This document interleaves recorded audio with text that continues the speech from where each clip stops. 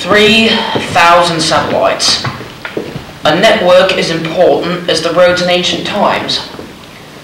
Our plan was never to save them all. We only focused on those vital to the war effort.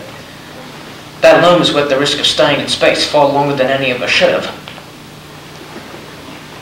Besides exercise, the only thing to do during our off-duty hours was watch what was happening on Earth.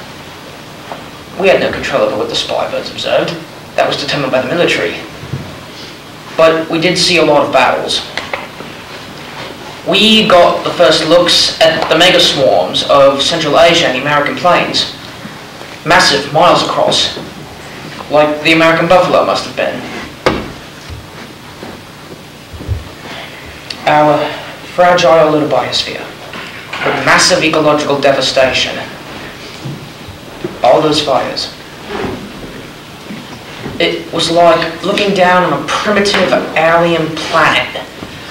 A billion tiny orange specks where electrical light should have been. It seemed like the whole world was burning.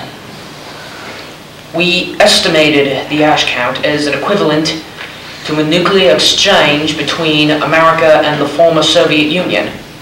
That doesn't include the actual exchange between Iran and Pakistan. Watching those flashes gave me eye spots for days. From our perspective up there, it was hard to have hope. Sometimes I'm asked if we regretted our decision to stay. I can't speak for my mates. On the deathbeds, they both said they'd do it again. I won't disagree. I don't regret the loss of bone density, the physical therapy, or the prolonged exposure to cosmic rays. We did make our choice, and I would like to think we made a difference.